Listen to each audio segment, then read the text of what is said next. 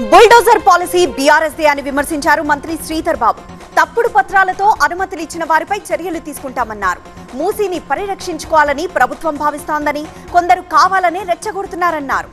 ఇక రేవంత్కు మద్దతు ఇచ్చిన వారు ఇప్పుడు బాధపడుతున్నారన్నారు ఈచెల రాజేందర్. మంచి పనులు చేస్తే ప్రజలు గుండెల్లో పెట్టుకుంటారని ఇలాంటి పిచ్చి పనులు చేస్తే చూస్తూ ఊరుకోరన్నారు. చెరువులను కాపాడాలంటే చుట్టూ ఉన్న పట్టా భూములను సేకరించాలన్నారు. ఇక కల్తీ నెయ్యిపై సిట్ విచారణ కొనసాగుతోంది. తిరుపతి ఈస్ట్ పిఎస్లో కల్తీ నెయ్యిపై కేసు నమోదైందన్నారు సిట్ చీఫ్ త్రిపాఠి. ఇన్వెస్టిగేషన్ ఆఫీసర్ను అపాయింట్ చేశామని కేసుతో సంబంధమున్న అన్ని ప్రాంతాలకు వెళ్తామన్నారు ఆయన. ఇక తమిళనాడు సీఎం స్టాలిన్ తన మంత్రివర్గాన్ని విస్తరించారు. ఆయన తనయుడు ఉదయనిధి స్టాలిన్కు డిప్యూటీ సీఎంగా ప్రమోషన్ లభించింది. కొత్తగా నలుగురికి కేబినెట్లో అవకాశం లభించింది. కేబినెట్ నుంచి ముగ్గురికి ఉద్వాసన పలికారు. మరోవైపు హర్యానాలో బీజేపీ అధికారంలోకి వస్తే యువతకు ఐదేళ్ళలో ఐదు లక్షల ఉద్యోగాలు ఇస్తామని హామీ ఇచ్చారు అమిత్ షా.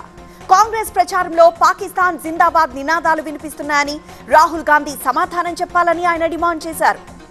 జమ్మూ కశ్మీర్లోని కతువా ఎన్నికల ప్రచారంలో పాల్గొన్న కాంగ్రెస్ అధ్యక్షుడు ఖర్గే తీవ్ర అస్వస్థతకు గురయ్యారు. ఆయన ప్రసంగిస్తున్న సమయంలో మూడు సార్లు ఆయన అస్వస్థతకు గురయ్యారు. అయినప్పటికీ తన ప్రసంగాన్ని కొనసాగించారు ఖర్గే.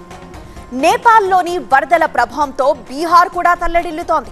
రాష్ట్రంలోని ముప్పై ఎనిమిది జిల్లాలకు ప్రభుత్వం హై అలర్ట్ ప్రకటించింది. కోసి నది దగ్గర పరిస్థితి ప్రమాదకరంగా ఉంది. వేల ఎకరాల్లో పంట నష్టం కారణంగా రైతులు లబోదిబోమంటున్నారు.